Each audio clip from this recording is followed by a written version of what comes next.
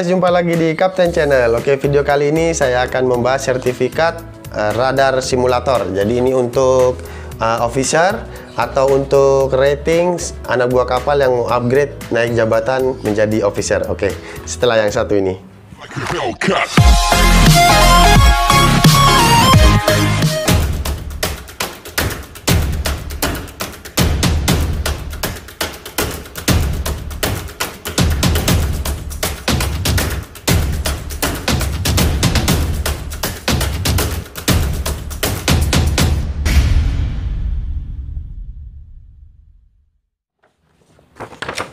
Oke teman-teman lanjut ke pembahasan ya.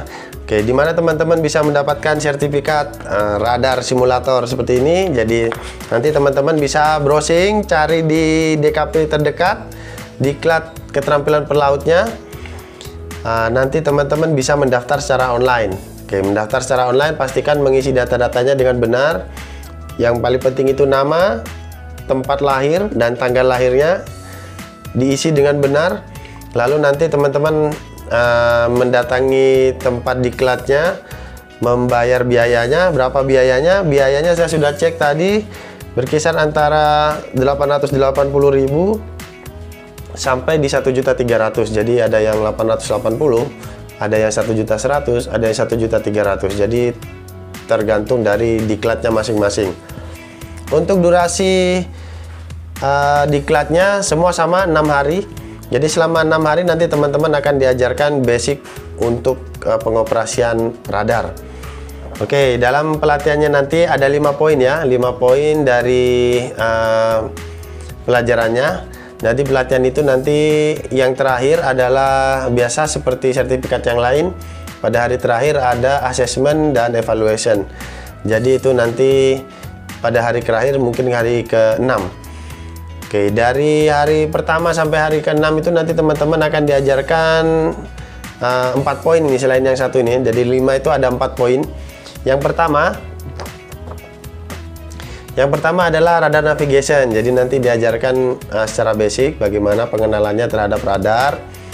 Yang kedua, yang kedua adalah acknowledgement of fundamental of radar.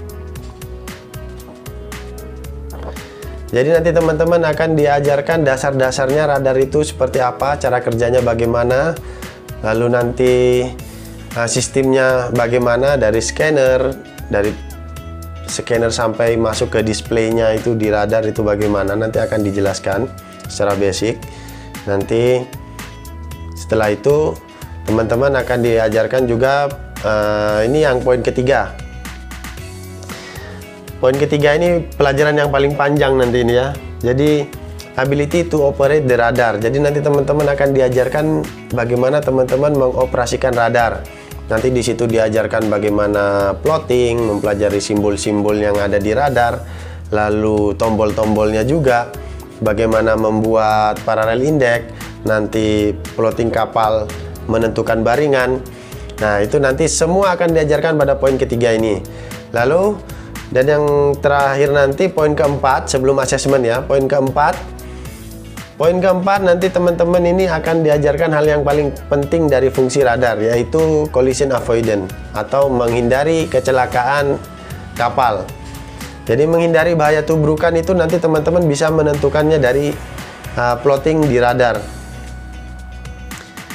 Jadi saat uh, pandangan sudah mulai terbatas ya, bisa malam, uh, hujan, kabut, nanti teman-teman uh, memiliki jangkauan pandangan yang terbatas, teman-teman itu akan sangat terbantu dengan adanya radar ini.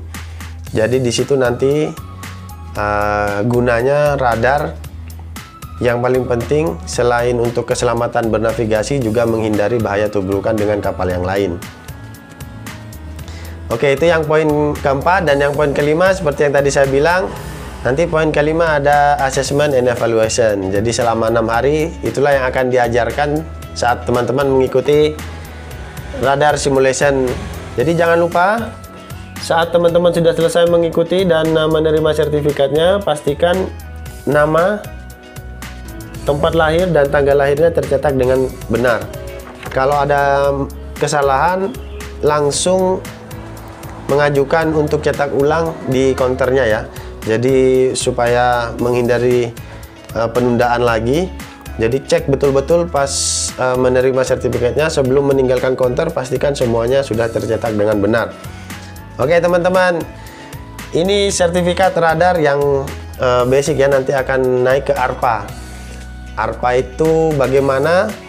Nanti naik lagi ke EGDIS, nanti naik lagi saya akan update terus. Jadi teman-teman jangan lupa subscribe, nyalakan loncengnya. Jadi teman-teman akan mendapatkan notifikasi saat uh, saya mengupload video-video saya yang terbaru. Oke, terima kasih buat teman-teman yang sudah mendukung saya, sudah subscribe channel ini. Jangan lupa like, share kepada teman-teman yang lain supaya teman-teman yang lain juga mendapatkan informasi seputar dunia maritim. Oke, tulis komentar teman-teman, mungkin ada pertanyaan. Terima kasih teman-teman sudah mendukung channel saya. Oke, see you on the top. Bye bye.